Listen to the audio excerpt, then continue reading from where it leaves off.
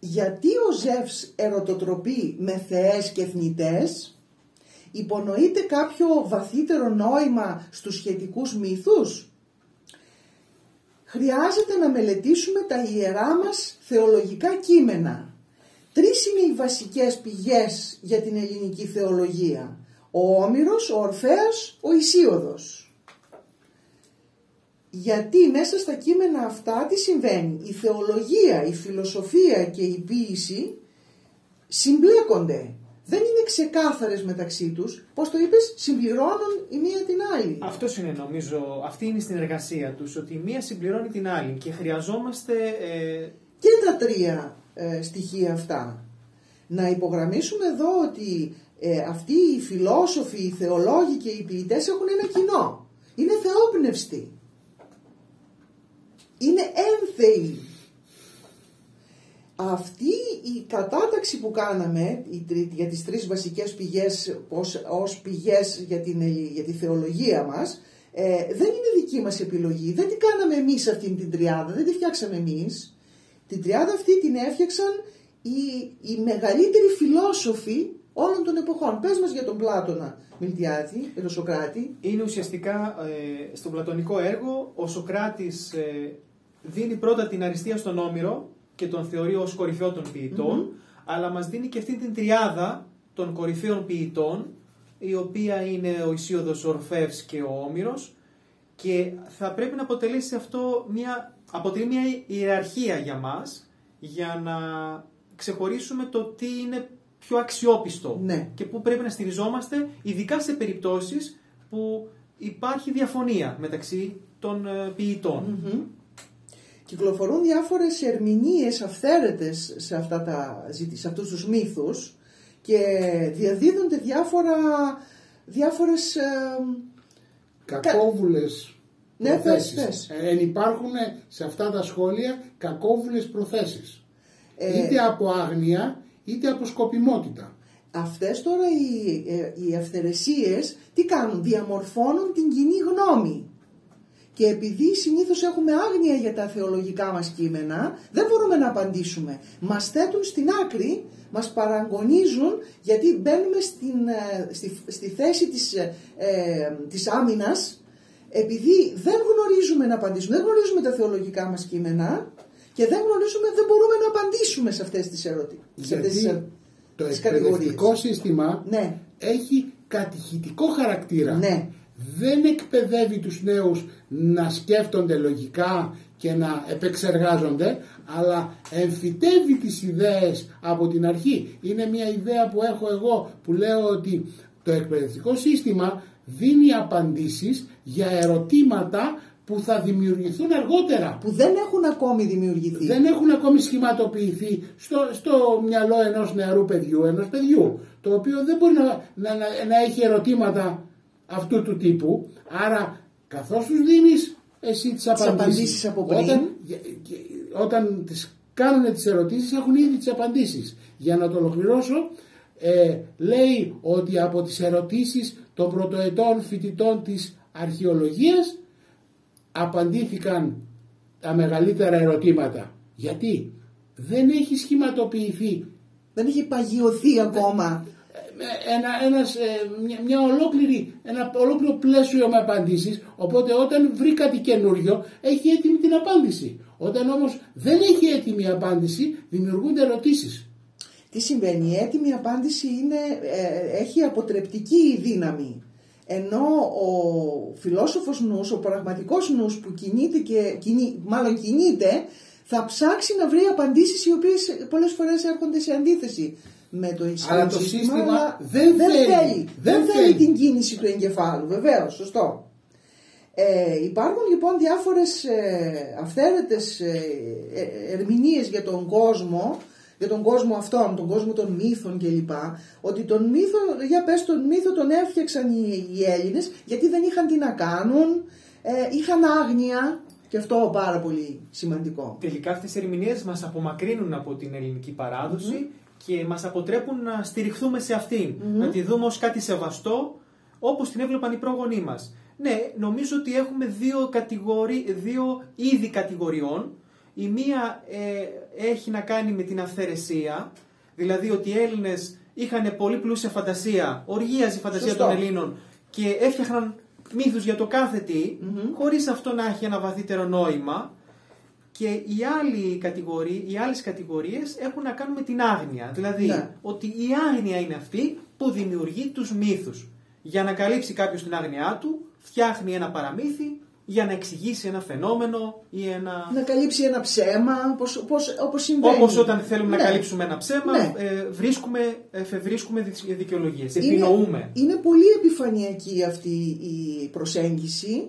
Στην πραγματικότητα δεν πρόκειται για άγνοια, αλλά πρόκειται για γνώση, για βαθύτερη γνώση. Ε, λέγαμε ότι η θεολογία δεν είναι μια αυθαίρετη κατασκευή.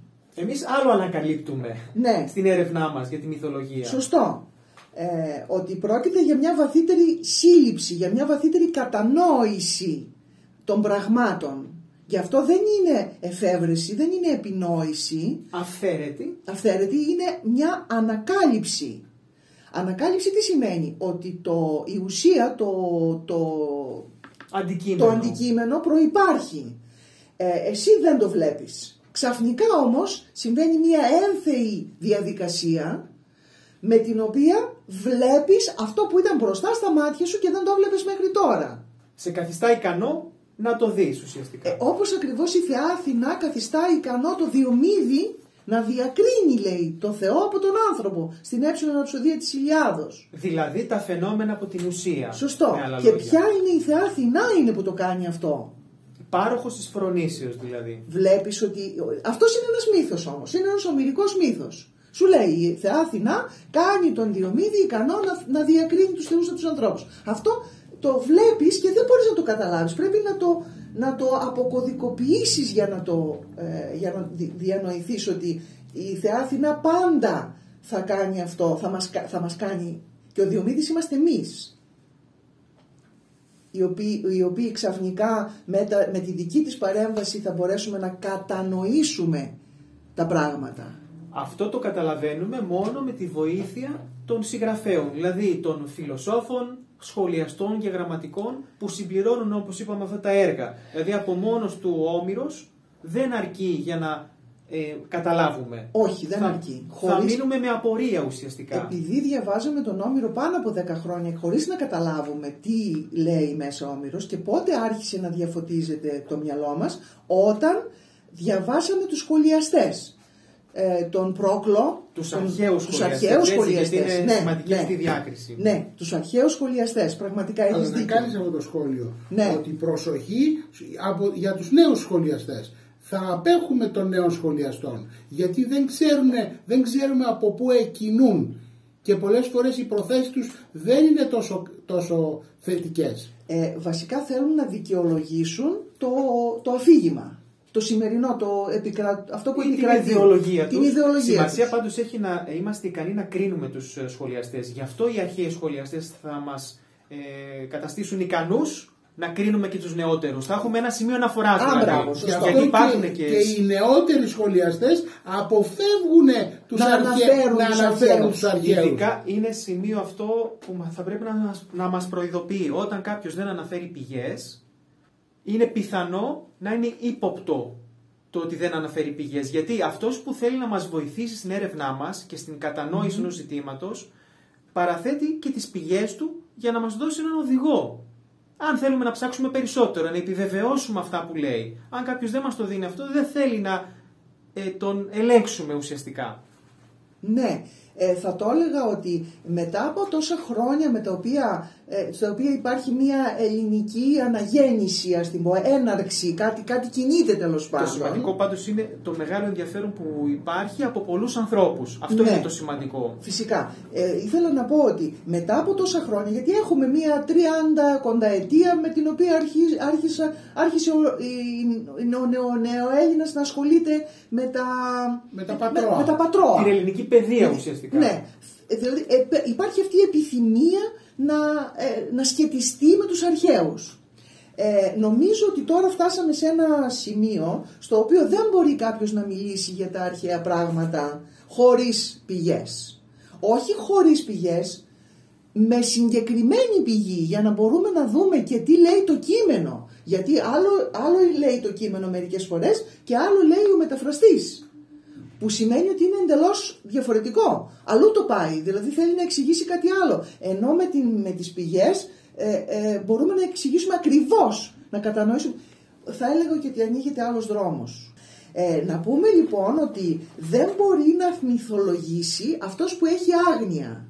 Εκ των πραγμάτων δηλαδή ο μυθογράφος, ο μυθολόγος ε, γνωρίζει πράγματα και τα λέει μέσα, μέσα από τον μύθο γιατί υπάρχουν πράγματα, υπάρχουν αλήθειες οι οποίες δεν μπορούν να μεταλαμπαδευτούν, να γνωστοποιηθούν ε, με άλλο τρόπο.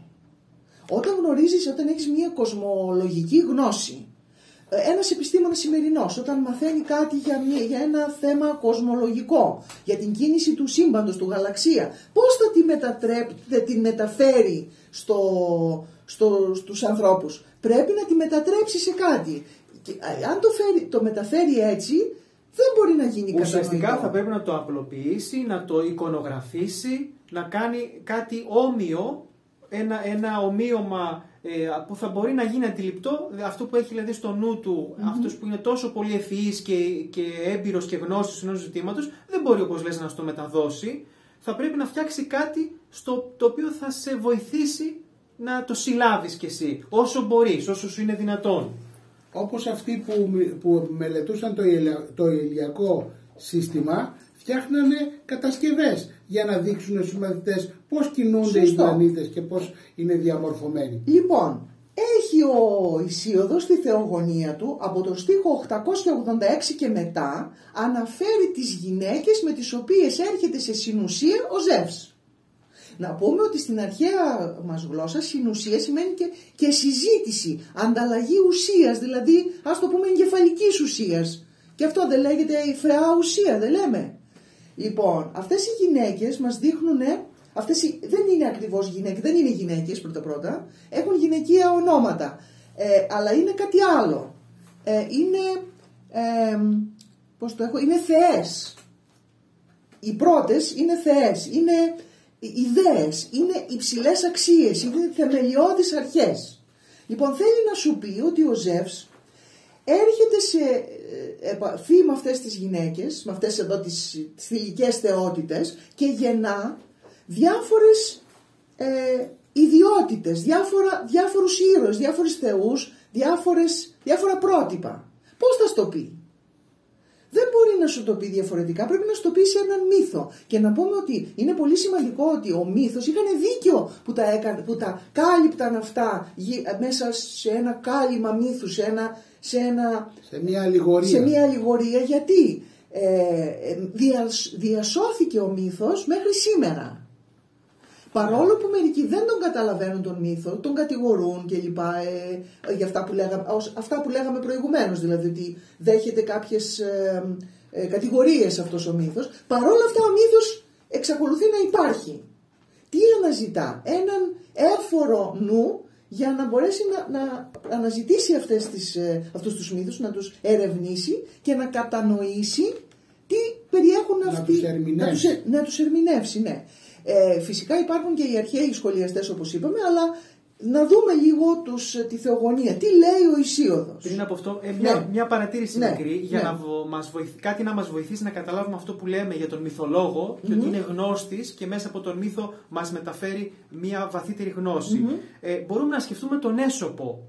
Θα μπορούσε Σωστά. ο Έσωπος να γράψει τους μύθους του εάν δεν είχε βαθύτερη γνώση των ζητημάτων στα οποία αναφέρεται; Όχι βέβαια. Αλλά και πάλι με τους μύθους του μας κάνει κάτι πολύ πιο εύκολο και απτό, το οποίο μεταφέρεται όπως λες στις επόμενες γενναίες και όποιος μπορεί και έχει τα κατάλληλα εργαλεία μπορεί να βρει μέσα στους μύθους αυτούς με πολύ μεγάλες αλήθειες, τις, τις μεγαλύτερες αλήθειες. Πώς το λέει ο πρόκλος, της δυναμένης. Ναι. Προσοχή όμως να μην πέσουμε στην παγίδα και να διαβάσουμε τις ερμηνείες, Το επιμήθειο. το επιμήθειο, το οποίο δεν είναι γραμμένο από τον, Από τον ίδιο από τον έσωπο είναι μεταγενέστερο. Είναι πολύ μεταγενέστερο και πολλές φορές μας συσκ- συσκοτίζει τον μύθο αντί να τον ερμηνεύει. Αυτό θα έλεγα ότι ε, πα- μας, πώς να το πω, μας, Μας παραπλανά. μας παραπλανά και ή μας περιορίζει γιατί ένας μύθος εσώπιος έχει πολλές ερμηνείες.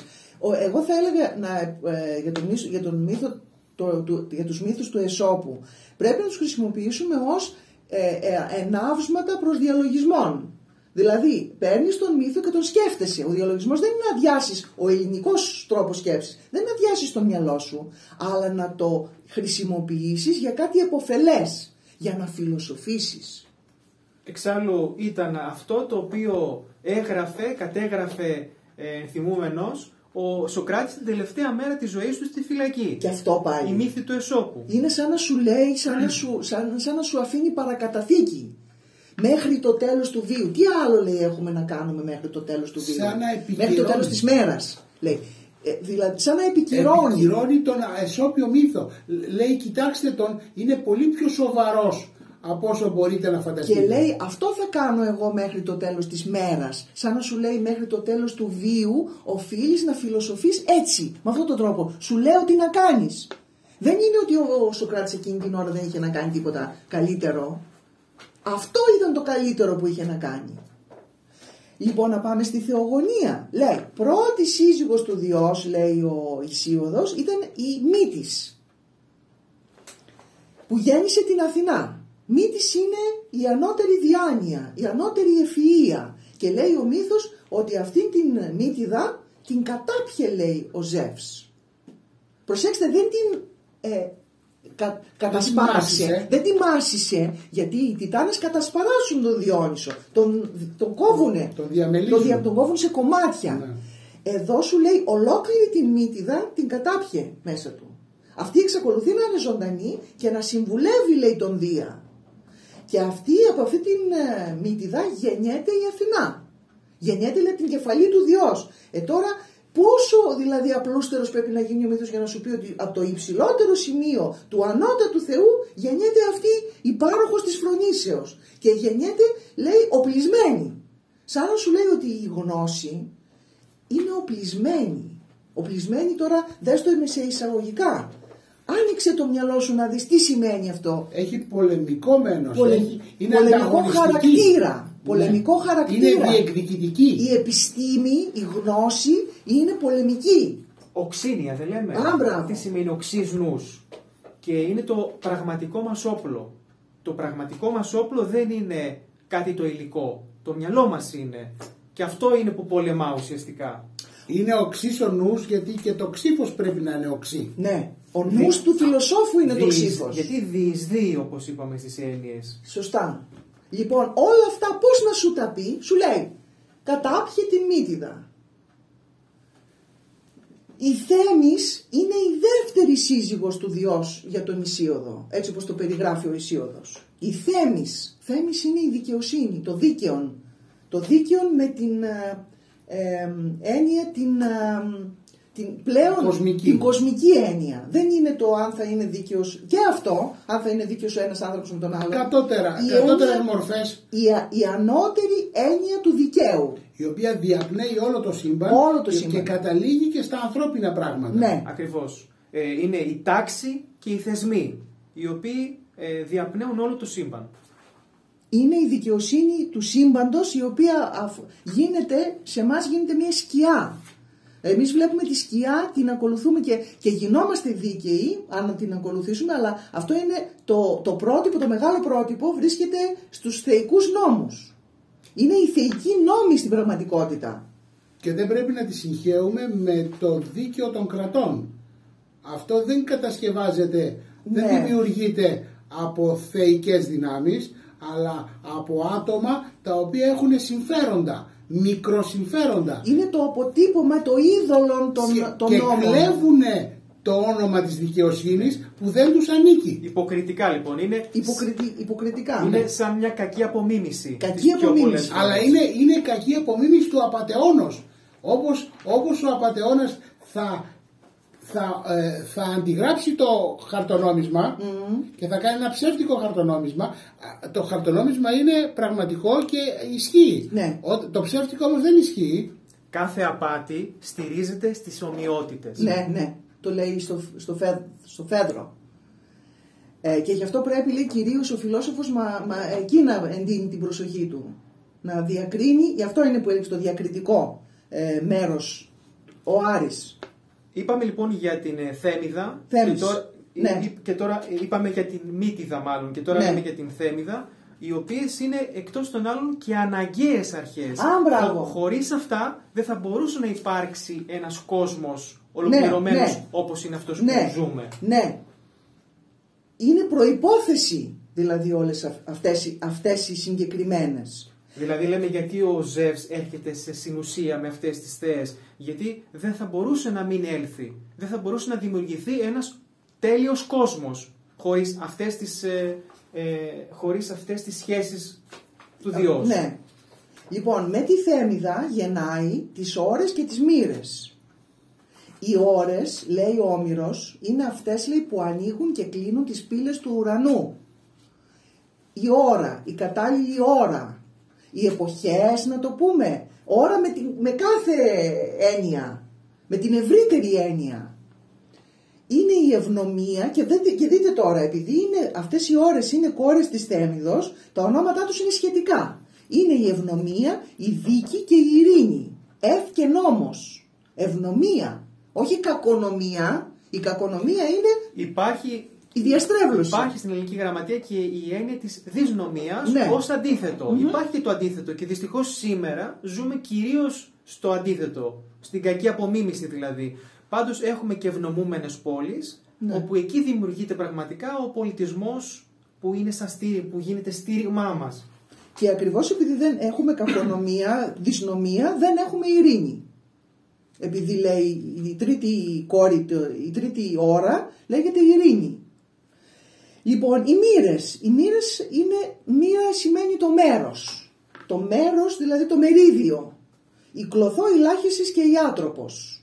Μεγάλη συζήτηση για τις μοίρες. Πάντως είναι κόρες της Θέμιδος. Είναι αυτό που λέει το καταξίαν. Η Θέμης έχει να κάνει και με την διέρηση όπως, λέμε, όπως λέγαμε. Γιατί αργότερα θα δούμε την ευρυνόμη Ναι. που έχει να κάνει με το αντιθετο με την ένωση. Τρίτη, κο- τρίτη σύζυγος είναι η ευρυνόμη, η ευρεία διανομή του παντός λέει. Οι κόρες που γεννάει είναι πάλι τρεις. Τρεις, τρεις, τρεις είπαμε. Οι χάριτες. Οι χάριτες είναι η Αγλαία, η Ευφροσύνη και η Θάλια. Είναι η Θεία Χάρις λοιπόν του Διός Και οι δωρεές, ας Και- το πούμε, του Σωστά. θείου, του θείου πνεύματος. στους, στους ανθρώπους. Γιατί μετά, θα, γε- μετά από αυτές θα γεννήσει με τη Δήμητρα, ο Ζεύς θα γεννήσει την Περσεφόνη, την ψυχή. Αμέσως μετά με τη μνημοσύνη γεννά τις μουσες. Είπαμε ότι είναι πάλι κάτι, ένα, μια αναπόσπαστη αξία στη ζωή μας, η μνήμη. Μιλάμε για την ιστορική μνήμη, αλλά και την μυθολογική μνήμη. Γιατί, για παράδειγμα, η μυθολογία ουσιαστικά έχει ως απότερο σκοπό την αυτογνωσία. Την ανάμνηση του ίδιου μας του εαυτού. Εγώ, θα το, εγώ ξέρεις πως το είδα τη μνήμη και τη μνημοσύνη για ένα- σε σχέση με το μύθο. Επειδή δεν ξέρεις τι σημαίνει ο μύθος και ότι αυτό ο μύθος σε ξεπερνάει, είναι κάτι παραπάνω από σένα, το μόνο, το πρώτο σκαλοπάτι που έχεις να κάνεις, το πρώτο βήμα που έχεις να κάνεις είναι να απομνημονεύσεις τον μύθο. Από, κρα- ε, ε, απομνημόνευσέ τον, να τον θυμάσαι και κάποια στιγμή θα έρθει η απάντηση αλλά το, αν δεν το γνωρίζεις το μύθο, και πώς θα το γνωρίσεις αν δεν το θυμάσαι; Ε, είπαμε το εξής ότι θα πρέπει κάποιος που γνωρίζει να χρησιμοποιήσει ένα μέσο για να μεταδώσει μια γνώση. Μμμ, μμμ. Στην περίπτωση, για παράδειγμα, εδώ του Διός, ο οποίος είναι σοφός και γνωρίζει. Ναι, Με ποιο μέσο θα μεταδώσει τη γνώση του σε εμάς, ναι, την ε, μνήμη του; τη μνήμη του. Αυτό είναι που, αυτόν το ρόλο παίζει η μνημοσύνη που γεννά τις μουσες. Ναι. Δηλαδή είναι το μέσο που θα μας βοηθήσει να, μα- να, να θυμηθούμε και να γνωρίσουμε τις τις αλήθειες του κόσμου. Η γνώση είναι ανάμνηση λέει. Ναι, γι' αυτό και είναι η μνημοσύνη, Μμμ. η μητέρα των μουσών. Και αυτές οι, οι, είπαμε, αυτές οι μουσες είναι οι διάφορες επιστήμες. Ναι, συγχέονται με τις επιστήμες γιατί ευρύτερα αυτό το οποίο πρεσβεύουν ουσιαστικά και είναι κάτι το οποίο το ξεχνούμε είναι η έρευνα. Ναι. Είναι, μα- είναι η μελέτη. Ναι, ναι, να τα εξετάζουμε με μεγάλη προσοχή. Άλλωστε η λέξη μουσα προέρχεται από το ρήμα μο, που σημαίνει ερευνό. Εξ- ε, προέρχεται και η Μέα, η μητέρα του Ερμού, από το, από το ίδιο ρήμα. Είναι, ε, πώς λέγεται, Είναι αυτό που έκανε ο Σοκράτης. ναι, η μεευτική μέθοδος. Η μεευτική μέθοδος ερευνά ένα ζήτημα με τον ίδιο τρόπο ακριβώς. Για κάτι που ξέρεις. Ναι, Αλλά δεν, δεν το δεν το συνειδητοποιείς. ξέρεις, δεν, ναι, δεν το ξέρεις ότι το ξέρεις. Αλλά δεν το ξέρεις. Α, Ναι, πρέπει- έχεις τη δυνατότητα ουσιαστικά να το συμπεράνεις, αλλά θα πρέπει να εργαστείς για να φτάσεις στο συμπέρασμα από ένα πρόβλημα μαθηματικών. Σωστό. Μπορείς να το λύσεις, Ναι. αλλά θα πρέπει να εργαστείς προς τη λύση του. Γιατί αν βγάλεις εύκολες, ε, αν έχεις εύκολα στο μυαλό σου μια απάντηση, τις πιο πολλές φορές είναι λανθασμένη. Μμμ. Πάντως η βαθύτερη έννοια της ποιήσεως και της μουσικής είναι αυτή. Να μας βοηθήσει να, α, να ερευνήσουμε και να, να αναζητήσουμε την πραγματικότητα, την αλήθεια γύρω μας. Εξάλλου α- έτσι συμβαίνει και με τη συζήτηση που αποτελεί στην πραγματική της μορφή την μεγίστη μουσική. Δηλαδή ένα ανώτερο είδος αναζήτησης. Μμμ. Γιατί ε, όταν ξεκινάς μία συζήτηση δεν ξέρεις πού θα καταλήξεις, δεν ξέρεις ότι τα ξέρεις αυτά τα πράγματα για να τα συμβάλλεις στη συζήτηση. Ο ένας με τον άλλο, γι' αυτό λέγεται και συνουσία, ο ένας με τον άλλο θα κάνει τον, τον συνομιλητή του να, να πει ορισμένα πράγματα τα οποία δεν θα τα έλεγε αλλιώς, δεν θα σκεφτόταν Και θα αλλιώς. πρέπει να ε, είμαστε σε θέση να χρησιμοποιήσουμε τις γνώσεις που αποκτήσαμε, τις εμπειρίες που αποκτήσαμε, να γίνουμε πόριμοι, εμπνευσμένοι, για να καταφέρουμε να κάνουμε μια καλή συζήτηση. Η επόμενη σύζυγος του Διός είναι η Λιτό, την, από την οποία γεννά τον Απόλλωνα και την Άρτεμη. Και τελευταία έβδομη την έχει ο Ισίωδος την Ήρα. Γεννιέται η Ήβη, η αιώνια νεότητα, σε όλα τα πράγματα. Ο Άρης είναι η διαιρετική δύναμη η οποία ε, δι- διαιρεί τα πράγματα ώστε να μπορέσουμε να τα κατανοήσουμε.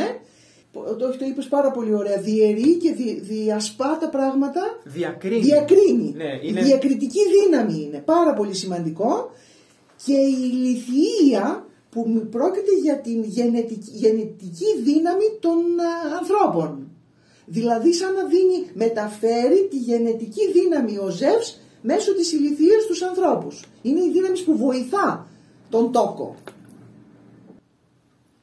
Πού είναι λοιπόν το κακό, πού είναι το ανήθικο, ο αίτιος του ζήν, ο Ζεύς, ο αίτιος της ζωής όπως το λέει εδώ ο ε, Πλούταρχος, ε, να γεννά θεούς και ήρωες. Θα λέγαμε ότι είναι και ανάγκη να γεννηθούν αυτοί οι θεοί και οι ήρωες που είναι, οι ήρωες είναι τα πρότυπα, οι θεοί είναι οι, οι αιτίες. Οφείλουμε στο Δία την ύπαρξή μας. Σωστό. καθώς είναι αυτός που γεννά τις ψυχες Μμμ. ως πατέρας. Οφείλουμε τις αξίες μας που ε, προέρχονται από τις θεές Μμμ. που, ε, ε, που είναι έρωτες του Διός και οφείλουμε και τα πρότυπά μας οι οποίοι είναι οι ήρωες που γεννιούνται από τις θνητές γυναίκες του Διός. Ναι. Και να συμπληρώσω σε αυτά που λες. Είναι, λέει, θεμελιώδεις αρχές είπαμε και υψηλές αξίες. Δεν είναι θεμελιώδης αρχή και υψηλή αξία η μύτης, η ευφυΐα, δεν είναι η θέμης, η ευρυνόμη, η μνημοσύνη. Πώς αλλιώς να τις εξηγήσουμε αυτές τις θηλυκές; Ανα... δεν, είναι- δεν είναι, είναι, νομίζω αυτές που λέμε οι αναγκαίες και ικανές αρχές τις οποίες θα πρέπει να περιέχει ο κόσμος για να είναι ολοκληρωμένος και τέλειος. είναι αρχές του θείου. Είναι θεές λέμε. Και τι σχ- σχετικό έχουν με τις θεές. Είναι αιώνιες και είναι και ε, νοητές. Δηλαδή κατανοητές μέσω της νοήσεως. Και όχι Δια των του νου. αισθήσεων. Και όχι των αισθήσεων Τίποτα φυσικά. από αυτά, καμία από αυτές τις έννοιες, της δικαιοσύνης, της ευφυΐας, Της της, μνήμης. μνήμης, δεν μπορούμε να διακρίνουμε με τις αισθήσεις. Μόνο με την νόηση. Πώς μπορούμε να τις ονομάσουμε αλλιώς δηλαδή; Πώς μπορεί να γίνει κατανοητό αυτό το, το πράγμα; Πώς να το εξηγήσουμε αλλιώς; Ε, αυτές δηλαδή είναι οι θεμελιώδεις αρχές που φτάνουν από τον θεϊκό κόσμο στον ανθρώπινο. και μέσω των οποίων μετέχουμε στις θεϊκές ιδιότητες και έχουμε την δυνατότητα να τελειοποιηθούμε, να προοδεύσουμε. Το θείον μεταδίδει τα γνωρίσματά του και τις ιδιότητές του με κάποιον τρόπο. Πώς αλλιώς να τον εξηγήσουμε; Θα το εξηγήσουμε αυτό με μία ιερογαμία. Μα δείτε τις θεές που είναι γυναίκες του διός. Που, τι, τι λείπει από αυτές που να μην είναι αξία; Όλες οι αξίες μας βρίσκονται Σωστά. εκεί. Η μνήμη, η δικαιοσύνη, η σοφία, η χάρις. Είναι, είναι έννοιες που σύμφωνα με το όνομα του Διός, που είναι το μόνο όνομα που έχει άλλο Ε, δύο, άλλο- δύο θέματα. Ναι. Ζεύς και Δίας. Άλλο Δίας. ονομαστική γενική. άλλη ονομαστική, Ναι. άλλη γενική. Γιατί; Γιατί ζευγνύουν, ζεύς, Ναι. και διαπερνούν, Ναι. Δίας. Ναι. Και, και, ναι, διαιρούν και, δια, και, και ζευγνύουν. Είναι μαζί αυτές οι έννοιες που τις συναντούμε και αλλού. Στην, ε, στον Άρη και την Αφροδίτη. Στο αρσενικό και το θηλυκό. Ναι, Είναι αυτή η διάδα που όμως είναι μονάδα. Στη περίπτωση του Διός δηλαδή. Ναι, ναι. Που τα συνέχει όλα. ναι. Λοιπόν, τι συμβαίνει τώρα, ε, είναι αυτή, αυτή η αερογαμία είναι ο τρόπος με τον οποίο το θείον μεταδίδει την ουσία του. Μέσα στον Δία βρίσκονται όλα αυτά. Σωστά. Και ουσιαστικά προσφέρονται Στον άνθρωπο. στις ψυχές. Στις ψυχές, στις ψυχές. Σε ναι. όλες τις ψυχές. Υπάρχει μία γνώση μέσα στο νου η οποία για να μεταδοθεί πρέπει να χρησιμοποιηθεί ένα μέσον. Και αυτό το μέσον είναι ο μύθος που αναφέραμε πιο πριν. Ο μύθος δηλαδή είναι ένας λόγος ο οποίος είναι ε, ψάβει της αληθείας το μυθόδες λέει ο Πλούταρχος και είπες και ότι ο Πλάτων, και ο Πλάτων το λέει, άλλωστε ο Πλούταρχος είναι πλατωνικός. Ε, αυτός λοιπόν ο λόγος, ο μύθος, είναι ο φορέας που θα μεταφέρει αυτή την, τη θεϊκή γνώση, την θεμελιώδη γνώση που χρειάζεται ο άνθρωπος για να κατανοήσει, να κατανοήσει αυτά τα πράγματα. Να στηριχθεί. Ναι, ναι. Μπορούσαμε- θα Πες μπορούσαμε μου, να πούμε. τι στήριγμα υπάρχει, άλλο στήριγμα πιο σταθερό από αυτόν εδώ τον μύθο; Πες μου πιο σταθερό στήριγμα. Όλα είναι, όλα είναι τόσο ε, ε, ε, ε, μεταβαλλόμενα σε αυτόν τον κόσμο. Έχει, έχουμε κάποιο στήριγμα σε αυτόν τον κόσμο της διαρκούς μεταβολής, του, κο- τον κόσμο της γενέσεως σήμερα. Πέρα από τις υψηλές αξίες, τις υψηλές, ε, α, για, α, ας πούμε να, να αναφέρουμε το δίκαιο, την έννοια του δικαίου. Στηρίζεις, επειδή υπάρχει παντού αδικία, ναι όμως κάπου πρέπει να στηριχτεί ο άνθρωπος για να μην καταρρεύσει ψυχολογικά. Μιλάμε για την άτακτη κίνηση που είναι το κακό, γιατί η κίνηση ως έννοια είναι απαραίτητη για εμάς. Σημαίνει την πρόοδο και τη βελτιωση Για να έχουμε ομο- όμως μία κίνηση ευεργετική και όχι άτακτη, θα πρέπει να έχουμε ένα στήριγμα. Όπως λέει ο Αρχιμίδης. Α, μπράβο. Δώσ' μου πας, ε, πας το και τα γάν κινήσω. Δώσ' μου ένα σταθερό, ένα σημείο που να σταθώ, λέει, και θα κινήσω τη γη. Αυτό το στήριγμα λοιπόν είναι η ελληνική μυθολογία ως ένα ύψιστο ε, ε, γέννημα της ελληνικής παράδοσης πάνω στο οποίο πόσα πράγματα στηρίζονται. Μμμ. Δεν στηρίζεται ε, η- η- ο αθλητισμός, το θέατρο, Το θέατρο. η πολιτική Σωστά. και φυσικά μετά η φιλοσοφία μας, η θεολογία μας και η ηθική μας. Όχι μόνο δεν είναι κάτι το ανήθικο, αλλά είναι πηγή ηθικής. Θέλω να αναφέρω ένα σημείο που ο, λέει ο Πρόκλος στον Τίμεο, στα σχόλιά του στον Τίμεο. Πες μου. Γιατί αυτοί που βρίσκουν ανηθικότητα Ναι. στα πλέον ηθικά των προγόνων μας Ναι. είναι κατά βάση ανήθικοι. Και προσπαθούν και βλέπουν σαν σε καθρέφτη την ανηθικότητά του μας και την προβάλλουν στα δικά μας ε, ηθικά κείμενα. Να πω ότι αυτός που βλέπει, αυτό, αυτό που βλέπουμε είναι στην πραγματικότητα η- ο πραγματικός μας, ο, ο αληθινός μας κόσμος. Πώς λέει ο Ροίδης; Μόνον η... Μόνον οι ανήθικοι ομιλώσιν περί της ηθικής. ναι. Λοιπόν, τι λέει ο Πρόκλος στα σχόλιά του στον Τίμεο του Πλάτωνο, στο 5ο βιβλίο 203. Λέει κάτι συγκλονιστικό, το οποίο θα έλεγα ότι είναι η ουσία αυτής της συζήτησης. Το γάρ πατρικών του δημιουργικού σεμνότερον.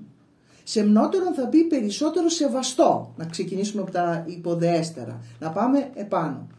Το πατρικόν του δημιουργικού σεμνότερον. Ο δημιουργός είναι αυτός που φτιάχνει, ποιεί λέει, ποιεί με τα χέρια του κάτι. Ένα δημιούργημά του. Ενώ ο πατέρας είναι αυτός που μεταφέρει την ουσία του. Λέει στο ίδιο κείμενο ο Πρόκλος η πατρική ένωσης δεσμών εστί δεσμός. Συνδεόμαστε με τον πατέρα μέσα από την γενετική του αυτή σειρά. Και Ναι. στηριζόμαστε ουσιαστικά. Γιατί ο δεσμός εδώ δεν είναι κάτι το οποίο μας περιορίζει, μας ε, κρατά δέσμιου, είναι κάτι που μας στηρίζει. Μας στηρίζει, βεβαίως, μας συντηρεί. Ακριβώς. Πες. Να μην ξεχνάμε ότι δημιουργός του ανθρώπου για την ελληνική παράδοση είναι ο Προμηθεύς. Αυτός είναι, δι- είναι κατώτερος Μια θεός. λέει. κατώτερη θεότητα. Όπως είναι ο δημιουργός του μονοθεϊσμού. Όπου, όπως θα εξηγήσουμε και αργότερα, ως, μονο, ως δημιουργός είναι δημιουργός κάτι του υλικου που είναι κατώτερο του πατέρα και μάλιστα είναι πατέρας μόνο κάποιον ή κάποιου και όχι όλων των ανθρώπων όπως έχουμε στην ελληνική παράδοση. Βεβαίως. Δηλαδή ο Θεός στην ελληνική παράδοση γεννά όλες τις ψυχές και δεν κάνει διακρίσεις ούτε αδικεί. Μμμ. Θα το πούμε μετά για, τις, τρι- για την τριπλή ιδιότητα, τρεις, τρεις έννοιες, υπό τρεις Της έννοιες ότι είναι ο πατρότητος. πατέρας του. Ναι, θα το πούμε στη συνέχεια. Λοιπόν, ο Όμηρος επαναλαμβάνει πολλές φορές, 12 φορές την Ηλιάδα και 4 φορές την Οδύσσια και ο Ισίωδος το λέει στη Θεογονία σε τέσσερα σημεία ότι ο Ζεύς είναι πατήρ ανδρώντε θεόντε. Αυτό που λες ότι είναι πατέρας όλων των ψυχών. Των θεών, των θεϊκών ψυχών και των ανθρωπίνων ψυχών. Γιατί κάποιοι μιλάνε για μονοθεϊσμό Μμ. και για το κάποια, ότι ήταν ε, υποτίθεται μια εξέλιξη στην ιστορία των θρησκειών. Μα εδώ το έχουμε στα αρχαιότερα κείμενά μας. Ο Όμηρος μας το λέει ξεκάθαρα. Ότι ο Ζεύς είναι ο πατέρας θεών και ανθρώπων. Άρα είναι ο ένας θεός για τους Έλληνες. Ναι. Ωστόσο, όπως είπαμε το 12 και ο πολυθεισμός δεν αποτελεί ε, προγενέστερο στάδιο στην εξέλιξη των θρησκειών, αλλά μεταγενέστερο, διότι οι Έλληνες μέσω του 12 ανακαλύπτουν, συλλαμβάνουν την βαθύτερη φύση του, Αυτού του, του του θείου πατρός. γένους. Ναι. Δηλαδή οι ιδιότητες ε, φαίνονται τους Διός μέσα από, είπαμε, μέσα από τους έρωτες και τα παιδιά του. Εγώ θα έλεγα ότι όλη αυτή η γάμη του Διός με διάφορες γυναίκες θνητές και αθάνατες ε, δείχνουν την πολυπλοκότητα του, του- των πραγμάτων γύρω μας. Ο κόσμος δεν είναι... Αποκαλύπτεται ο κόσμος Ναι, ουσιαστικά. δεν είναι μονοδιάστατος Η ο βαθύτερη κόσμος. ουσία του κόσμου. Ναι, δεν είναι μονοδιάστατος, είναι πολύπλοκος, εξαιρετικά πολύπλοκος θα έλεγα. Στις λεπτομέρειές του δηλαδή, γιατί η φιλοσοφική αυτή σκέψη των Ελλήνων ε, ε, διεισδύει σε λεπτομέρειες. Ε, να συμπληρώσουμε με τη φράση του Πλουτάρχου από τα πλατωνικά ζητήματα ένα έργο του που έχει αυτό τον τίτλο στο 1001β λέει μέσα στο τέκνο εν υπάρχει η ουσία του πατρός μέσα στο δημιούργημα δεν υπάρχει δεν εν υπάρχει η ουσία του πατρός γιατί είναι μπορεί να δείχνει αχ πώς τα έχω γραμμένα Ουσιαστικά Α, φανερώνει. ναι, μπορεί να δείχνει, φανερώνει την παιδεία του δημιουργού ένα, ένα βάζο, ένα αγγείο. Προδίδει, έτσι. Προδίδει, πολύ ωραία, πολύ ωραία. Την, ε, την παιδεία του, δηλαδή τη σοφία του, την τέχνη του, την υψηλή του τέχνη, την υψηλή του αισθητική. Σωστά. Δεν πάβει όμως να είναι ένα δημιούργημα. Ενώ για τον πατέρα... Δεν τον είναι Δία, ζωντανό. Ναι, δεν είναι, ναι. Για τον πατέρα μετα- θα μεταφέρει ο πατέρας την ουσία μέσα στο τέκνο του. Και δηλαδή την ενδυνάμει ε, τελειοποίηση του, Α, μπράβο. του, γε- του γεννήματός του, όπως γίνεται με το καρπό του δέντρου, Ναι. το οποίο είναι ενδυνάμει ένα δέντρο και το ίδιο. Να Δάμε το- πούμε ότι το έργο προδίδει τον δημιουργό και αυτό που φαίνεται. Θα δώσω ένα παράδειγμα από τη ζωγραφική. Λέγεται ότι ένας ε, πλαστογράφος που θέλει να ζωγραφίσει έναν πίνακα ήδη γνωστό, ενός ήδη γνωστού ζωγράφου, τι πρέπει να μάθει πρώτα; Όχι να ζωγραφίζει μόνο, αλλά και να αντιγράφει τον τρόπο που ζωγράφιζε ο πραγματικός το ζωγράφος. ύφος και, και όχι μόνο. Τις Την πινελιές τεχνη- την όπως τεχνική. έκανε τις πινελιές Ναι. αυτός. Λοιπόν, Γιατί ναι. κάθε ζωγράφος έχει τη δικιά του τεχνική. Αλλιώς πιάνει το πινελο Σκεφτείτε λοιπόν ότι για να γίνει κανείς πλαστογράφος, που είναι πολύ σημαντικό, ε, ε, ένας μεγάλος σκηνοθέτης γύρισε μια ταινία με τίτλο F like fake Ναι. και αφορούσε όλα αυτά τα έργα Orson Welles. ο Orson Welles, ο οποίος ε, μίλησε για, για, για, για τα πλαστά έργα και είναι ένα πάρα πολύ σημαντικό έργο είναι, ένα, ε, είναι μια μελέτη πάνω στο πλαστό Να συμπληρώσω σε αυτό που έλεγες Μιλτιάδη, είναι πολύ σημαντικό να δούμε αυτό την έννοια του καρπού για να καταλάβουμε τους καρπούς του Διός που είναι οι απόγονοι του Διός. Γιατί, και γιατί ο πατέρας είναι Ναι. ανώτερη είναι από τον ποιητή ή δημιουργό. Να πάρουμε μία, ε, μία παρομοίωση για να καταλάβουμε το μεγάλο σε σχέση, το, μι- μάλλον να δούμε το μικρό και να κατανοήσουμε και το μεγάλο. Το καρπός του δέντρου. Μέσα στον καρπό εμπεριέχεται η ουσία του δέντρου. Γι' αυτό και ο καρπός είναι ένα ενδυνάμει δέντρο εάν βρεθεί σε κατάλληλες συνθήκες και, ε, και αυξηθεί και μεγαλώσει. Το ίδιο συμβαίνει και με τις ψυχές. Ναι. Γι' αυτό είναι σημαντικό ότι είναι πατέρας των ψυχών ο Ζεύς, διότι δίνει την δυνατότητα σε αυτές, εάν το θέλουν και μπορούν, όπως μας λέει ο Σοκράτης, να φτάσουν στο θεϊκό επίπεδο. Πάρα πολύ ωραίο. Ε, Σε αυτό που λες να συμπληρώσω με ένα απόσπασμα από τον Πρόκλο σχόλια στον κρατήλο του Πλάτωνος το 97. Ο Ζεύς λέει όχι μόνο να ονομάζεται πατέρας εκείνων που διατήρησαν αμόλυντο το θεϊκό είδος της ζωής αλλά και είναι. Όχι μόνο να ονομάζεται αλλά και είναι. Όπως του Ηρακλέους και των Διοσκούρων. Εκείνον όμως, και αυτό είναι το σημαντικό, σε αυτό που έλεγες ε, συμπλήρωμα, εκείνον όμως που δεν κατάφεραν να στραφούν κάποτε προς το Θείον, δεν θα μπορούσε σε καμία περίπτωση να αποκληθεί πατέρας ούτε πραγματικός ούτε κατ' όνομα. Και εδώ να δώσουμε το παράδειγμα του Ευριστέως. Ο Ευριστέας είναι, είναι εκείνος στον οποίο υπακούει ο Ηρακλής. Ναι. Ε, ε, μάλλον, δέχεται τις εντολές ναι, του δίνει τις εντολές για να κάνει κάποιους άθλους. Ο Υβριστέας οι οποίοι οι υπολείπεται... άθλοι στόχο έχουν να καταστρέψουν τον Ηρακλή αυτός είναι ο στόχος του Ευριστέα γιατί είναι μια ενόχληση Ναι, στο θρόνο του ο Ηρακλής και κάθε φορά τον στέλνει σε έναν στόχο για να καταστραφεί. ο Ευριστέας είναι πολύ κατώτερος, πολύ κατώτερος του Ηρακλέους, ανήκει στη γενιά του Διός, αλλά δεν είναι αυτός που δεν κατάφερε να στραφεί προς το Θείον. Είναι Και δεν μια- του αξίζει να ονομάζεται παιδί του Διός, ούτε κατ' όνομα ούτε κατ' ουσίαν όπως είπαμε. Τώρα, είναι σημαντικός όμως ο Ευριστέας γιατί χωρίς τον Ευριστέα θα υπήρχε Ηρακλής. Χωρίς δηλαδή αυτήν την, ε, την ε, αδικία. Γιατί υφίσταται μια αδικία μέσω του Ευριστέως. Χωρίς Ελένη θα υπήρχε τροϊκός πόλεμος; Όχι. Εκεί θα δοκιμάζονταν οι ψυχές; Μμμ, βλέπεις; Άρα είναι ανάγκη να υπάρξουν, να υπάρξουν αυτές οι δυσκολίες. Οι, οι αδικίες ας τις πούμε. Αλλιώς πώς θα, βελ- θα εξελιχθεί μια ψυχή. Πώς θα βελτιωθεί; Μέσα στις ανέσεις Να πούμε ότι η αδικία αν δεν μας καταστρέφει, μας εξελίσσει και μας βελτιώνει.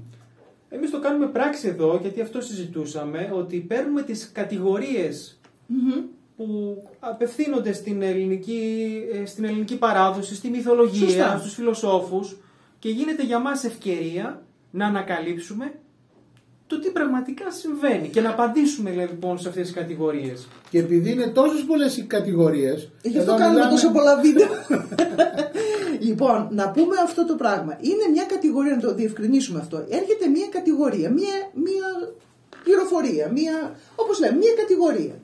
Εμείς αντί να σταθούμε στην άκρη και να α, αποκτήσουμε έτσι μια Ανοχή Α, ναι. ή αδιαφορία. αδιαφορία, ανοχή όπως λες, ή, Ή θυμό, ε, ναι, ή εκνευρισμό, αγανάκτηση, ή όλα αυτά αγανάκτηση. είναι πολύ χαμηλά. Ναι. Είναι, Ή ε, μπορούμε να πούμε ότι ξεκινάνε από αγανάκτηση και, Ναι. και θυμό Ναι. και εμείς τα επεξεργαζόμαστε Γι- να τα κάνουμε λόγο. Γίνεται όμως δημιουργικό αυτό το, αυτή η αγανάκτηση. Είναι- Ακόμη και αν είναι κακοπροαίρετο το σχόλιο. Σωστά. Δεν έχει σημασία. Το, θ- το ζήτημα είναι εμείς πώς θα απαντήσουμε. Γιατί όπως είπαμε ο Ευρυστέας έχει κακό σκοπό. Ναι. Παρ' όλα αυτά ο- Το αποτέλεσμα όμως ποιο είναι; έχει διπλή νίκη ο, ο Ηρακλής διότι και ταπεινώνει τον ευρυστεα και ευεργετεί την ανθρωπότητα Μμμ. μέσα από τους άθλους του. Ε, χρειάζεται πολύ κόπος. Αυτό που θα κάνει ο Ηρακλής χρειάζεται πολύ κόπο. Και ο δικός μας ο κόπος είναι πάρα πολύ μεγάλος γιατί πρέπει να διαβάσουμε όλα αυτά τα κείμενα. Όχι ότι μας ε, δυσαρεστεί, είναι ευχάριστο, αλλά έχει πολύ κόπο μέσα του. Για να μπορέσει να δώσει απάντηση, δηλαδή θέλει γνώση, όπως το λέγαμε προηγουμένως. η άγνοια σε κάνει να, ε, να πηγαίνει στην άκρη. Πώς να το πω, να... Σε συρρυκνώνεις. Σε ταπεινώνεις. Σε ταπεινώνεις, σε συρρυκνώνεις. Η γνώση όμως σου δίνει πολύ μεγάλη ε, δύναμη, πολύ μεγάλη προοπτική. Ανοίγει ορίζοντες. Σωστά. Σκεφτείτε έναν αγράμματο άνθρωπο τι μπορεί να πετύχει με έναν άνθρωπο που έχει, που έχει μελετήσει, που είναι μορφωμένος. Να πω ότι δεν είναι μόνο το αποτέλεσμα, το, ξεκινάμε από μια κατηγορία, το αποτέλεσμα δεν είναι μόνο το βίντεο αυτό που κάναμε, οι πληροφορίες που έρχονται εδώ. Είναι και οι άλλες συζητήσεις που κάναμε πριν, που δεν μπορούν να μεταδοθούν, γιατί πραγματικά οι πολλές σκέψεις, οι, όλες οι σκέψεις δεν μπορούν να μεταδοθούν. Ε, δηλαδή αυτό είναι που μας γονιμοποιεί εμάς, μας κάνει πιο γόνιμους, πιο βε... Να, να, πιο... πάρουμε, ε, να πάρουν οι ακροατές μας ένα, μια, ένα πλαίσιο ότι ένα βίντεο που κάνουμε εμείς μίας ώρας η επεξεργασία του μπορεί να είναι γύρω στις 8 με 10 ώρες. Ναι. Και το διάβασμα ο καθένας που κάνει μόνος του μπορεί να είναι άλλες τόσες ώρες. Και υπάρχουν και άλλες ε, συζητήσεις που γίνονται που αφορούν άλλα θέματα. Είναι παρεμφερείς αλλά ε, μας βοηθούν σε άλλα ζητήματα. Γιατί χρειαζόμαστε τον Ευριστέα και γιατί, Γιατί χρειαζόμαστε, χρειαζόμαστε; ακόμα και τα κακοπροαίρετα σχόλια. Μμμ. Διότι πόλεμος πατήρ πάντων είναι η εναντίωση αυτή η οποία θα μας βοηθήσει να εξελιχθούμε. Δεν γίνεται χωρίς, είναι αναγκαία η εναντίωση, αλλά να καταφέρουμε να την, να, να την κάνουμε γόνιμη και ευεργετική. Αυτό είναι το μεγάλο ζήτημα. Γιατί λέει ότι σε κάτι κακό που συμβαίνει, ε, δυστυχώς οι άνθρωποι επιλέγουν τις δύο κατώτερες επιλογές, δηλαδή ή να λυπηθούν ή να αγανακτήσουν. Δεν φτάνουν όμως στην Το ανώτερη. επιθυμητικό και το θυμοειδές. Δεν φτάνουν στην ανώτερη όμως, η οποία έχει να κάνει με τη βούληση, τη φρόνηση και την λύση τελικά της... ε, Δεν φτάνουν εκεί γιατί χρειάζεται πολύ σκόπος είπαμε. Για να φτάσεις εκεί, για να φτάσεις στην, ε, στη βούληση. Και πρέπει να διαβάσεις, να επιλέξεις και να πεις και να κάνεις, να, να έρθεις να εκτεθείς. Χρειάζεται μια άλλη νοοτροπία, Ε; παιγνιώδης διάθεση που την έχουμε χάσει. Ο Ζεύς, λέει ο Ευστάθιος, ο Ζεύς είναι ο νους, διού το, το ζήν εφ της ανθρώπης εστίν. Είναι ο νους αυτός που μέσα, από, μέσα από τον οποίο, λέει, μέσω του οποίου βρίσκεται, υπάρχει το ζήν, το εφ ζήν όμως. Ο Ζεύς δεν είναι πατέρας, ε, δεν είναι πάροχος του ζήν μόνο, είναι πάροχος... Κυριότερο είναι ότι είναι πάροχος του Εύσυν, δηλαδή μας δίνει την δυνατότητα να ζήσουμε έναν ενάρετο, καλό και τέλειο βίο. Όχι απλά να είμαστε, να επιβιώνουμε. Να δούμε την αντιστοιχία με τον Αλέξανδρο. Πώς το περιέγραψε. Ότι Ναι. ο, ο πατέρας του είναι Στον το, Φίλιππο οφείλω λέει το ζήν, το ζήν, ενώ στον στον Αριστοτέλη το Εύζην. Βεβαίως, πάρα πολύ ωραίο. Να πούμε, να διευκρινίσουμε ότι στις διάφορες μύθους, ε, παιδιά ή εραστές κάποιου θεού, ε, όταν λέει ο μύθος αυτή, τη φρ- αυτό το πράγμα, σημαίνει ότι είναι ψυχές συγγενείς και εξοικειωμένες προς τον συγκεκριμένο θεό. Το λέει ο Πρόκλος αυτό. Ε, με- με αφορμή τον, ενός, ενώ, ένα γιο του Ποσειδώνος, αλλά αυτό ισχύει για όλους τους ε, πατέρες. Τι σημαίνει ουσιαστικά, γιατί Ναι. σημαίνει κάτι. Δεν έχει να κάνει με τη βιολογική καταγωγή Πάρα και τη πολύ βιολογική σημαντικό. συγγένεια. Έχει, είναι κάτι που αφορά την ψυχή του ηρωος το οποίο σημαίνει ουσιαστικά κάθε παιδί Θεού σημαίνει μια ψυχή η οποία είναι πολύ κοντά στο θείον. Είναι ανώτερη. Γι' αυτό και ονομάζεται ηρωική. Ομοιάζει τις, τις ιδιότητές του, ακολουθεί, τον ακολουθεί σαν πρότυπο, σαν... Και αποτελεί και για μας το πρότυπο, τα πρότυπά μας, εκεί στηρίζεται ο πολιτισμός μας. Ε, αυτοί θέτουν, θυμ- θυμηθείτε τι κάνουν οι ήρωες. Οι ήρωες, Ναι, βοηθούν στην κάθαρση ναι, των, των διάφορων στοιχείων που είναι ικανά να πνίξουν ένα πολιτισμό και δημιουργούν εκείνους τους θεσμούς στους οποίους στηρι- στηρίζεται ο πολιτισμός μας. Να, για παράδειγμα, ο Ηρακλής καθάρισαν, οι πρώτοι, αυτοί οι ήρωες, ο Θησέας, ο Θησέας. Ηρακλής, καθάρισαν την ανθρωπότητα από τα τέρατα. Και όλοι Ας- αυτοί οι ήρωες, να πούμε, ότι όλοι αυτοί οι ήρωες έρχονται μέχρι σήμερα. Δηλαδή ξεκινήσαμε από τους αρχαίους ήρωες για να φτάσουμε στους ήρωες του 21. Βεβαίως. Για να φτάσουμε στους Βεβαίως. ήρωες του Μακεδονικού Αγώνα. Ναι. Και αυτοί οι ήρωες συνεχίζουν να είναι πρότυπα. Υπάρχουν ήρωες γύρω μας, εμείς δεν τους τιμούμε.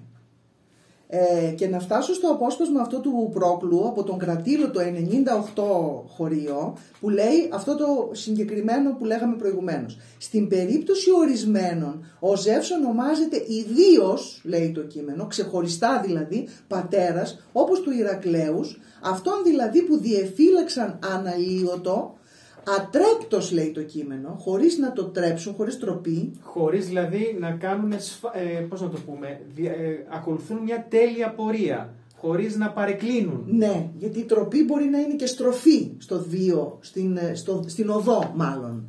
Χω- Ατρέπτος λοιπόν, τον βίο και ηγεμονικό βίο.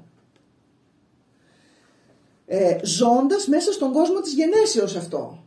Μέσα στον κόσμο της γενέσεως θα διατηρήσεις τον βίο και ηγεμονικό βίο. Και εδώ το βλέπουμε αυτό, αυτή τη στιγμή που λες ότι ε, μπορεί κάποιος, υπάρχουν δυνάμεις που είναι ικανές να στρέψουν μια ψυχη στην αντίθετη κατεύθυνση. Ναι. Πώς Και εσύ- όμως μόνο οι δυνατές ψυχές είναι ικανές να ε, υπερνικήσουν αυτή τη δύναμη. Αυτό το βλέπουμε σε, με μεγαλειώδη τρόπο στην Ηλιάδα με, τον, ε, με την ψυχή του Αχιλέως που μας περιγράφει ο Όμηρος τι συμβαίνει μέσα του που από τη μία σκέφτεται να ε, φωνεύσει για παράδειγμα τον ε, Αγαμέμνονα και να μεγαλώσει την αδικία αλλά τελικά η Αθηνά τον πείθει να διατηρήσει την πορεία αυτή που λέγαμε Βλέπεις; χωρίς να παρεκκλίνει προς την θέωση. Να θυμηθούμε και τον Οδυσσέα. Τι λέει, τι σκέφτεσαι καρδιά μου; Ναι, τέτλαθη κραδί. Για ποιο λόγο το λέει αυτό; Ναι, γιατί αν, αν ε, βλέπει τις υπηρέτριες να πηγαίνουν στους μνηστήρες και θέλει να, τη- να σηκωθεί και να τις, αρ- να τις, ε, πώς να το πούμε, Τιμωρήσει. να τις τιμωρήσει. Και είναι, είναι υπερισχύει αυτό που, μα υπερισχύει λέω, ε, ε, αναστατώνεται Σωστά. επειδή το θυμοειδές τον σπρώχνει. Αλλά η λογική, η τέτλατη χτυπάει την καρδιά του και λέει ησύχασε. Ε, Πολύ χειρότερα έχεις αντέξει. Μάλιστα. Αυτή είναι η μεγάλη εναντίωση που μέσω της οποίας είναι, ε, μάλλον είναι αναγκαίος βοηθός μας για να εξελιχθούμε. Δηλαδή δεν είναι το ζήτημα αν θα υπάρξει εναντίωση, αυτό είναι δεδομένο. Είναι το αν μπορέσουμε να νικήσουμε σε αυτή την εναντίωση, να νικήσει το καλύτερο σ- στοιχείο μέσα μας. Σωστά. Αυτό συμβαίνει με τους ήρωες και γι' αυτό αποτελούν για μας πρότυπα. Γιατί και στις δύο περιπτώσεις, αν υπερισχύσει το θυμοειδές, θα γίνει καταστροφή. Καταστροφή του σχεδίου του, του Οδυσσέως. Καταστροφή της εκστρατείας, της τροικής εκστρατείας με τον Αχιλέα. Αλλά υπερισχύει η φρόνηση και ε, ε, έρχονται τα πράγματα στην ισορροπία τους. Αυτός ο πόλεμος λοιπόν, αυτή η εναντίωση συμβαίνει μέσα σε κάθε ψυχή. Δεν συμβαίνει είναι- μέσα μας. Δεν είναι ένας εσωτερικός πόλεμος; Μα περιγράφεται από τους Ε; ποιητές και ως εσωτερικός πόλεμος. Α. Αυτή είναι η σημασία του. Ναι. Γιατί ε, το ζήτημα είναι που μας αφορά. Συμβαίνει διαρκώς μέσα μας. Δεν είμαστε εμείς ο Οδυσσέας και ο Αχιλέας. Και το ζήτημα είναι ποιο από τα στοιχεία της ψυχής μας θα νικήσει. Αυτό, σα- από αυτό εξαρτάται η πορεία μας. Δεν είναι τα παραδείγματα αυτά που μας δίνει ο Όμηρος για την προσωπική μας ζωή. Όταν λέω ότι πρέπει να πάρουμε τα παραδείγματα για να σώσουμε τη ζωή μας από κάτι τέτοιες λεπτομέρειες. Να πάρουμε τους μύθους δηλαδή και να τους, ε, να τους ε, εντάξουμε στην καθημερινή μας ζωή. Προέρχονται λοιπόν από τον Δία, γιατί είναι Βλέπεις; τα τέκνα της μνημοσύνης Μμμ. ε, που είναι οι μουσες. Μμμ. Αυτές μας ουσιαστικά μας... ε, Οι μουσες, η παιδεία. Ο, δεν λέει, ο Όμηρος δεν κάνει επίκληση στις μουσες όταν ξεκινά το έργο του. Και να τη συνεχίσω και το κείμενο αυτό του Πρόκλου στο 98 είπαμε σχόλια στον Κρατήλο. Λέει υπό τρεις έννοιες άρα είναι πατέρας ο Ζεύς. Των θεών, των ψυχών και των μερικών ψυχών που επέλεξαν βίο νοερό. Διανοητικό δηλαδή και δίον που ανήκει στο δίο, κατεξοχήν δηλαδή στον κατεξοχήν Θεό. Μιλάμε δηλαδή για τις εκλεκτές ψυχές. Α, μπράβο. γιατί, λέμε, γιατί λέμε ότι ο, ο Ηρακλής είναι ε, παιδί του Δία, αφού όλοι, όλες οι ψυχές είναι παιδιά του Δία. Όχι, ο Ηρακλής είναι Εξόχως. ακόμη περισσότερο. Ναι. Για- το- Είναι σαν να τον αναγνωρίζει ο Ζεύς, διότι έζησε μια ζωή ταιριαστή και σύμφωνη με, τον, πατέρα με του. τον Δία, με τον πατέρα του, ναι. Δηλαδή όλων των ψυχών αλλά και των εκλεκτών ψυχών ξεχωριστά. Ιδι... Στο προηγούμενο κείμενο δεν είχα πει ότι ιδιαιτέρως ξεχωριστά. Ένα ωραίο παράδειγμα για τις σχέσεις του Διός με τις ε, επιμέρους ψυχές, με τις ε, ε, μερικές ψυχές που λέγαμε προηγουμένως, είναι η ιστορία, ο μύθος μάλλον, ο μύθος για το Γανιμίδι.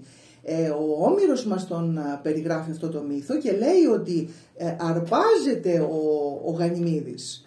Ε, τι συμβαίνει, δηλαδή είναι η απαγωγή. Η απαγωγή ως, ως μέσον σύζευξης αυτού του, αυτής της ψυχής με τον Δία. Εξύψωσης Εξύψωσης, ουσιαστικά. βεβαίως, βεβαίως. Εξυψώνεται ο Γανιμίδης. ε, μας, απ- αυτό όλο το αποκαλύπτει, αποκαλύπτει τη φύση του Γανιμίδους, την αποκαλύπτει το όνομά του. Γι' αυτό τον, περί των ονομάτων επίσκεψης, δεν λέει επίσκεψης, επί και σκέπτομαι και σκύπτω πάνω στο, στο ζήτημα. Πάνω Είναι μεγάλο προνόμιο που έχουμε εμείς οι Έλληνες, η γλώσσα μας να μας καθοδηγεί πάντα ορθά προς την πραγματική σημασία των ενιών. Διότι αυτό δεν υπάρχει σε όλες τις γλωσσες Κατά κανόνα οι, οι υπόλοιπες γλώσσες, οι- ειδικά οι λατινογενείς, είναι αυθαίρετες οι, οι λέξεις. Εάν δεν προέρχονται από, την, από τα ελληνικα ή τα λατινικά. Ε, είναι μεγάλο προνόμιο το οποίο ε, δεν έχουμε μάθει να το χρησιμοποιούμε δι- διότι ούτε καν αυτό, ενώ θα μπορούσε εύκολα να γίνει, δεν διδάσκεται στα σχολεία. Δηλαδή η ετυμολογία.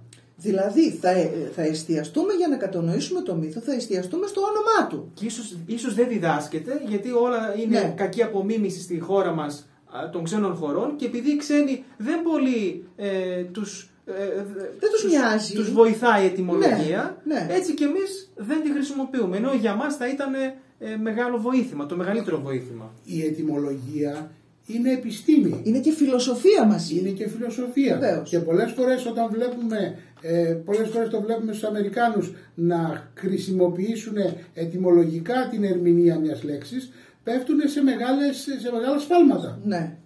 Λοιπόν, για να δούμε μυθο, ε, ετυμολογικό στο όνομα του Γανιμίδους. Γάνιμε και μύδος. Γάνιμε σημαίνει λάμπο, στυλβόνο. Ε, και μύδος είναι η σκέψη, η, η διανόηση. Ε, δηλαδή αυτός που κάνει λαμπρές, δι- λαμπρά διανοήματα. Ε, ποιος είναι αυτός που κάνει τις πιο λαμπρές σκέψεις, τα πιο λαμπρά διανοήματα; Παρά ένας φιλόσοφος. Γιατί τον θέλουν κοντά τους οι θεοί, τον παίρνουν κοντά τους οι θεοί; Γιατί είναι, είναι ε, αυτός που, ε, πώς να το πούμε, θα γίνει ο θεράπων των θεών μέσω αυτής της ιδιότητας που αναπτύσσει, που κάνει λαμπρές σκέψεις, το θέλουν κοντά τους για να συνεχιστεί το έργο τους. είναι μια ψυχή που ουσιαστικά ακολουθεί τους θεούς, Ναι. ομοιάζει με αυτους και άρα ευεργετεί τους ανθρώπους, Ναι, ε, υπηρετώντας τους θεούς με αυτόν τον τρόπο. γίνεται η νοχός λέει των θεών. Ναι, γιατί και αυτό κάτι σημαίνει. Δεν έχουν ανάγκη οι θεοί να τους σερβίρει κάποιος. Να πω μια ιδέα. Μια ιδέα. Είναι εινοχός και είναι ένα είδος Διονύσου που συμμετέχει στο Δωδεκάθεο παρόλο το ότι ο Διόνυσος δεν, δεν μπαίνει στη, ως δέκατος τελείως Θεός. Συμμετέχει στα γεύματα των Σκέψου θεών. το ότι σημαίνει να συμμετά, συμμετάσχει στα συμπόσια των θεών. Συνουσία, όπως λέει για τον ε, Μίνωα ο μύθος, ότι έρχεται σε συνουσία με τον πατέρα του για να κάθε νέα χρόνια για να φέρει τους νόμους. Συνομιλεί λέει ο Δίας, ο, Δίας, ο Όμηρος γράφει ε, ο Αριστής. Έχουν μια πολύ στενή σχέση, πολύ φιλική σχέση ε, μεταξύ τους και παίρνει τους νόμους. Α, άλλο ένα πολύ σπουδαίο. Ο Μήνος λέει κάθε 9 χρόνια ανεβαίνει στο όρος στην Κρήτη και παίρνει, συνομιλεί με τον πατέρα του, ο οποίος είναι σύζυγος της ε, Θέμιδος, εκτός των άλλων. Σωστά. Και Γι' αυτό και γίνεται. Γι' αυτό και γίνει. Και παίρνει τους νόμους, λέει, από τον Δία. Δηλα- Και τι λέει αυτός ο μύθο, Ότι οι νόμοι χρειάζονται αναθεώρηση. Σε, σε Οι εννιά... ανθρώπινοι νόμοι. Διότι ανθρώπινοι είπαμε, νόμοι. εμείς βρισκόμαστε στην κίνηση. Ναι. Ε, το, το θεϊκό είναι σταθερο είναι ίδιο και αναλύωτο. Αλλά εμείς βρισκόμαστε σε μια διαρκή κίνηση, α, στην οποία όμως Οι συνθήκες αλλάζουν και πρέπει να υπάρξει αναθεώρηση. η συ- κίνηση αυτή για να είναι ε, ε, προοδευτική θα πρέπει να ομοιάζει, να κατευθύνεται προς τους θεούς. Και να το πω και το άλλο. Ε, ε, πρέπει να πάρεις προς πρότυπο τα λόγια του πατρός. Δηλαδή, από, από ψηλά θα ξεκινήσεις, δεν το κάνεις εσύ αυθαίρετα, δεν θα αλλάξεις τον νόμο εσύ σύμφωνα με τις δικές σου βουλήσεις, αλλιώς θα καταλήξεις σε τυραννία. Η κίνηση είναι ελικοειδής όπως έχουμε πει. Ναι. Τι σημαίνει αυτό, ότι περιφέρεται γύρω από τον άξονα που είναι ο θεϊκος και διαρκώς επιχειρεί να, να τον αγγίξει. Δεν μπορεί, όπως η φιλοσοφία δεν γίνεται σοφός ο άνθρωπος, αλλά διαρκώς ε, έρχεται όλο και πιο κοντά στη σοφία. Και θα ανέβει στο όρος για να συναντήσει τον πατέρα του, που σημαίνει ότι θα ανέβει σε υψηλά σημεία διανοητικός. Λοιπόν, Το ίδιο κάνει και ο Γανιμίδης λοιπόν. Ο Γανιμίδης, Εξυψώνεται και γίνεται ε, μέτοχος ε, της, ε, της, των συμποσίων των θεών. Αυτή λοιπόν, αυτό το όνομα του, δι- του Γανιμίδους διευκρινίζει το νόημα. Τι σημαίνει όλος αυτός ο μύθος και αποκαλύπτει τη φύση αυτού του, του προσώπου ας το πούμε. Ε, οι φιλόσοφοι μυθολογούν. Αυτός είναι ένας μύθος του Ομήρου. Οι φιλόσοφοι μυθολογούν. Μυθολογεί ο Πλάτων, μυθολογεί ο Όμηρος, μυθολογεί ο Έσωπος. Να Πες. πούμε λοιπόν ότι και τα έθνη μυθολογούν. Ναι.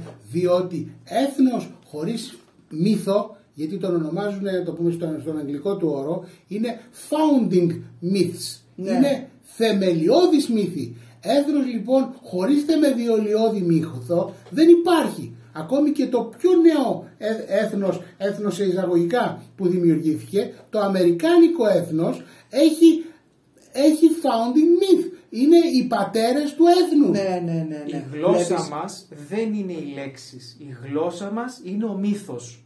Αυτό ήταν η πραγματική γλώσσα. Γιατί αυτή είναι ικαν... ο μύθος μόνο είναι ικανός να φέρει τα ανώτερα νοήματα. Αν μείνει η γλώσσα μας μόνο στις λέξεις και μάλιστα χωρίς καν ετυμολογία, τότε δεν είναι καν ελληνική αυτή η γλώσσα. Την- Είναι, ε, μοιάζουν- μοιάζει με ελληνική, είναι σαν να λέμε έχουμε το όνομα των Ελλήνων, αλλά δεν έχουμε τίποτα από την ουσία τους. Την ετυμολογία τι τη χρειάζεσαι για να μην αυθαιρετείς. Γιατί σήμερα Σε κατευθύνει. ο, ο καθένα, φυσικά, ο καθένας έχει τη δική του, ε, ε, μα- μάλλον καταλαβαίνει την Εκδοχή, κάθε... τη δική του εκδοχή, τη εκδοχή. δική του. Η γλώσσα δεν είναι εκδοχή, η ετυμολογία σου λέει τι να, τι να ακολουθήσεις, τι να κάνεις. Τι πραγματικά, τι πραγματικά λοιπόν μας αποκαλύπτει η μυθολογία, αυτή η μύθη περί τους, ε, των γάμων του Διός με τις διάφορες θεές και θνητές. Μας αποκαλύπτει ότι ο Ζεύς δημιουργεί τον κόσμο, είναι ο δημιουργός του κόσμου, αλλά ο πατέρας του κόσμου, μέσω της πατρικής του ε, σχέσεως. Ε, γεννά τον κόσμο. Ο κόσμος γεννάται από τον Δία, από τους γάμους αυτού του Διός. Κληροδοτεί δηλαδή ο Ζεύς τις ιδιότητες του μέσα στον κόσμο και ως εκ τούτου όταν παίρνουμε τις ανώτερες ιδιότητες τελειοποιείται ο κόσμος.